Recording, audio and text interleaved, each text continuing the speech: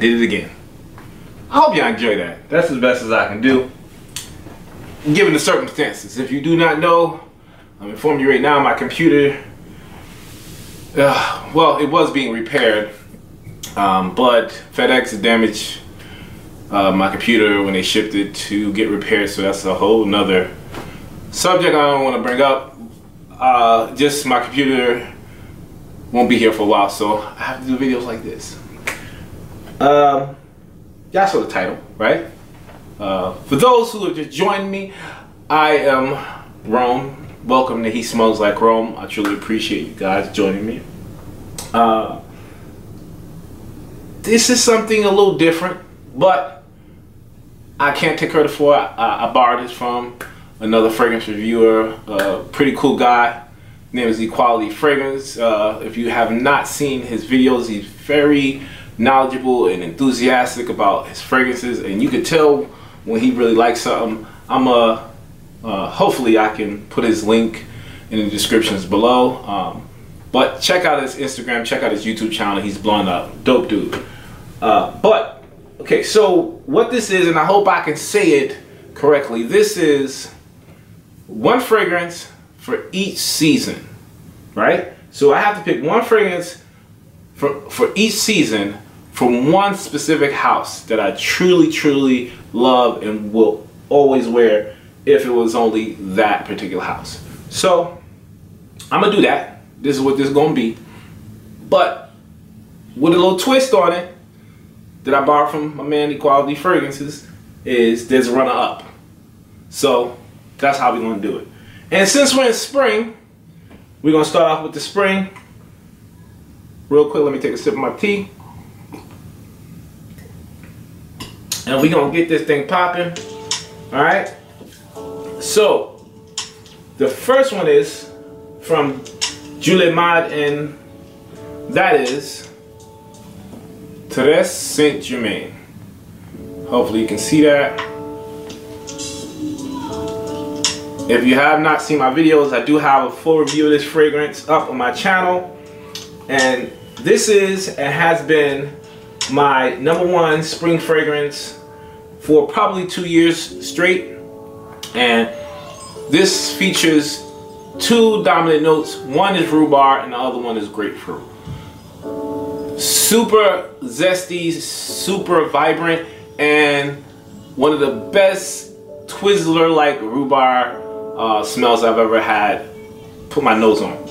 And when I tell you the this fragrance lasts like 10 hours, especially on your clothes, you cannot cannot miss this. It's a sleeper in the fragrance community, but you guys that trust my judgment or you want to try it out, go try it out. So that's the fragrance that I would wear in the spring. And the runner-up is a new fragrance that just dropped late uh, last year, and that is uh, Stairway to Heaven. Now, Stairway to Heaven, I do not have a full bottle, but I did do a first impression video, so uh, check that one out. It's somewhere on my page. I'll put a link in that one too. Um, Stairway to Heaven is very airy. There's literally a, a, I don't know how they captured it, but it smells like a fresh breeze just passed you by with iris, with berries, with fruit, with uh, floral, very, very like tart floral, but light on the tartness. It, it, this heliotrope, this iris note, and this fruit and, and uh, red berry note is crazy, man. But for me, when I spray this, it's like I'm outside and I smell some air. It's really, really good. So that would be the runner up. All right, so we're going straight to um, summer. So summer, for me, there's nothing better from Jul et Mad for the summertime, and that is Nia. Nia is, oh, straight up, this is dates with a raspberry, with a blackberry, with a cherry, and a whole bunch of other stuff in there. But dates and berry notes make this the perfect sweet, slightly syrupy, best combination for a summer night. Beautiful fragrance. This is why this would be my summer pick. The next one, I do not have a bottle of it, but you guys have to check it out. It's called Aqua Sextius. Aqua Sextius will be purchased before this summer is over. That is an absolute fantastic fragrance. Green, aquatic, um, slightly sweet. It, it, smells and tastes, I can't say taste, but it smells like uh, lime lemonade icy. But it's beautiful. If you can sip on them ices and you're probably at the beach, that's the best way I can put it. So Aqua would be the runner-up. Let's move on to, we stepping into the fall, right? So fall is just leaving the summer, still a little hot. We in the probably 70s, trickling back into the 60s, late September, early October, and that would be perfect for this beautiful fragrance right here and this is Ninshaw. Ninshaw is one of the most jammiest, I don't even know if this word, jammy rose. It's a sweet rose. It is rose petals, rose stem, a wet rose. Gorgeous, jammy. At the end is a little woody, but when I tell you if you're looking for a different rose, I'm not talking about Portrait of a Lady. Uh, Portrait of a Lady. I'm not talking about um, um, what's it? Uh, Noir de Noir. No, I'm talking about Ninshaw. Nothing like this on the market, and great for the beginning of the fall.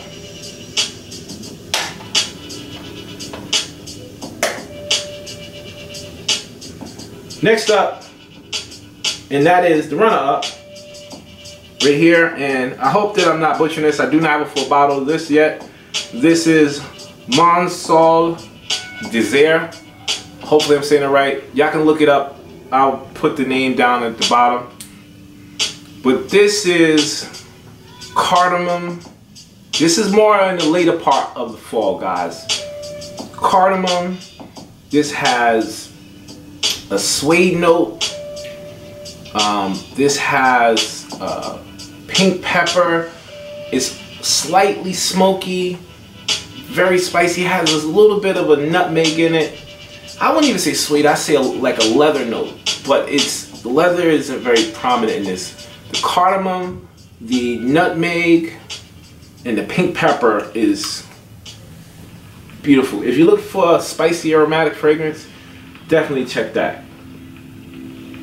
So that's the runner up for the fall. Now we jump straight into the winter, right? And when I tell you, if you're a fan of my channel, you already know what this is. You gotta know what this is if you're a fan of my channel.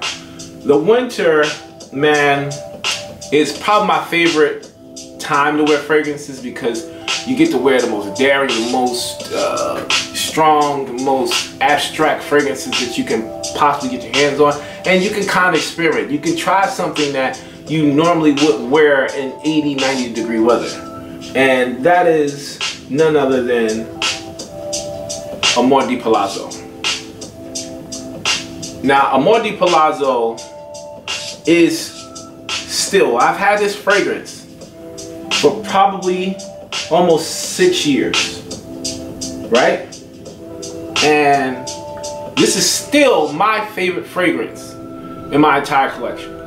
I've had come across some, and I mean, there's some bangers. I got some bangers, but this is the quintessential perfect fragrance, in my opinion. There's nothing that I've smelled that will beat this.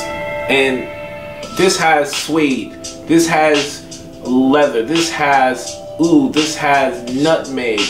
This has spicy kind of.